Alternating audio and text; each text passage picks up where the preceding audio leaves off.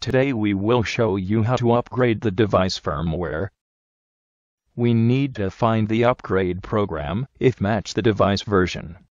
Now, let us check the device version information.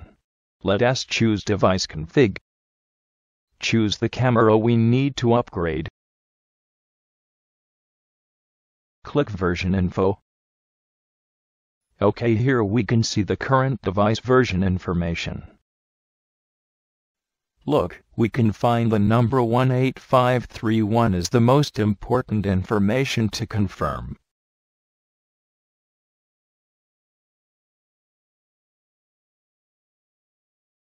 Now, the next step is upgrade the firmware. Back to the main menu. Choose Batch Upgrade. We also need to choose the camera we need to upgrade. Now, click Browser. Find the upgrade firmware. Here we can find the version information. There is also a number 18531, so it can match the system version.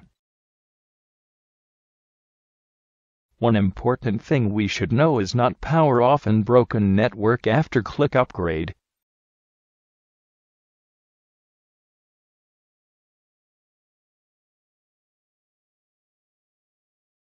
OK, now, click upgrade.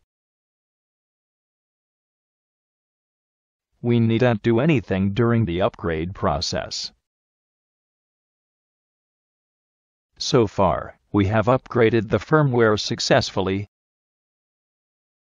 It will reboot it. Thanks for your watching.